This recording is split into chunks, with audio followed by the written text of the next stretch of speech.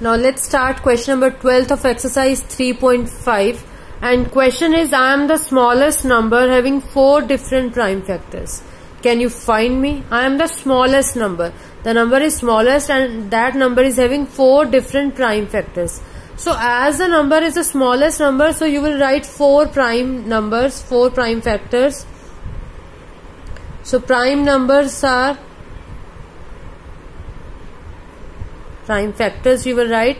Prime factors are because it is the smallest number so you will write the smallest smaller prime numbers.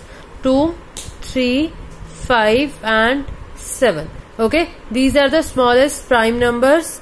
After that you will find the product. Okay? And product of these numbers is 2 multiplied by 3 multiplied by 5 multiplied by 7 this is 2 3 is a 6, 6 5s are 30, 30 multiplied by 7, this is 210. So 210 is the smallest number which is having four different prime factors. Here I have taken all the prime factors different. 2, 3, 5, 7. We cannot take like 2, 2, 3, 5. So repetition is not allowed. Okay? Repetition is re repetition of prime factors is not allowed here.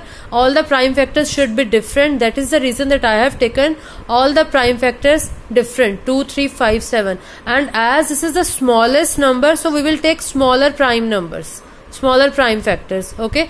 So here i have taken 2 3 5 and 7 and after that we will multiply all these numbers to get the smallest numbers okay to get the smallest number we will multiply all these numbers. The number will be 210 so you will write the smallest number having four different prime factors is 210 so this is question number 12th of exercise 3.5 and this is the last question of exercise 3.5